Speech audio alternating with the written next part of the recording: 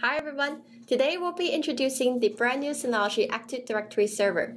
It brings a cost-effective solution for IT team to easily deploy universal settings without compromising on security.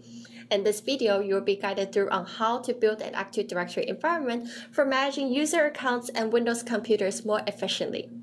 Sitting right next to me is the Synology DS916 Plus, and we'll be using this unit throughout our demo today. Let us keep watching. Before you begin, please make sure you have installed Active Directory Server in Package Centers. Once this is installed, you can find it in the main menu.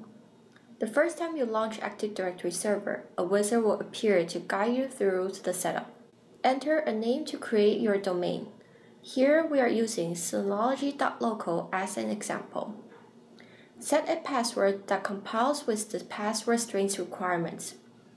You can refer to DSM Help for more details. Click Next and apply to confirm the settings. Once your domain is created, you can now add and configure users in this domain.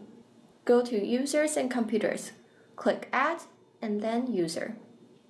We will set up a user account for Joanne by entering her email address and configuring a password.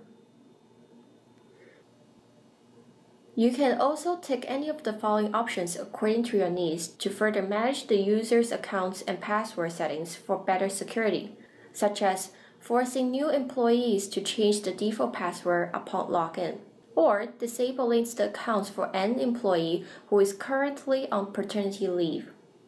If you want to add the user to specific groups other than the default users group, you can select one or more here. Check your settings and then click Apply. Next, let's go through how to set up home directories for users to automatically mount a network drive when they log into Windows computers that joins the Active Directory domain. Find the users you have just created in the list and double-click to edit the settings. Go to Profile and enter a local path. This can be any SMB path within the local area network. Here we will enter the home directory of Synology NAS as an example. If you would like to use home directory as your local path, you need to enable this service first. Go to Control Panel, User, Advanced, and click Enable User Home Service. Next, go to Domain LDAP, Domain Users, click Update Domain Data to get the latest user information first and then click User Home to enable home service for domain users. Now, let's get back to Active Directory Server and enter the home directory path of the Synology NAS.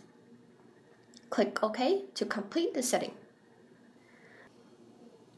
Now, before the user can log in, let's have a look at how to change the DNS server of the Windows computer and join it to the domain. Go to Network and Sharing Center double-click on the connection, click Properties, and then open Internet Protocol version 4. Switch from automatic to preferred DNS server address and enter the IP address of your Synology NAS.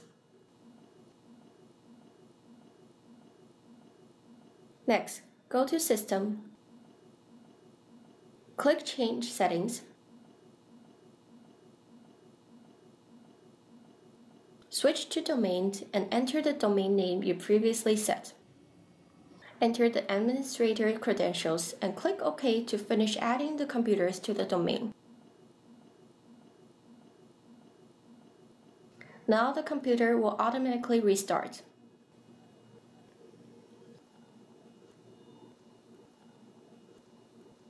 Once the computer has restarted, switch to other users on the Windows login page and then enter Joanne's user credential. First-time login may require more time for Windows computers to create the user accounts. Now you can open File Explorer to find the home directory mounted on your local computer. Simply drag any files or folders to the home directory to backup from your personal computer to Synology NAS. Alternatively, if you're using a public computer in a meeting room within your company, you can easily locate the files you need without having to memorize any IP addresses or repeatedly enter your user credentials. With Active Directory Server, IT team can easily configure a personal cloud database for every employee within the local area network of the enterprise to streamline accounts and computer management. It is also compatible with Windows Remote Server administration tools, giving our cost-effective solutions even more flexibility. To learn more about Synology's products, please visit Synology website or check out more videos on our channel. Thank you for watching.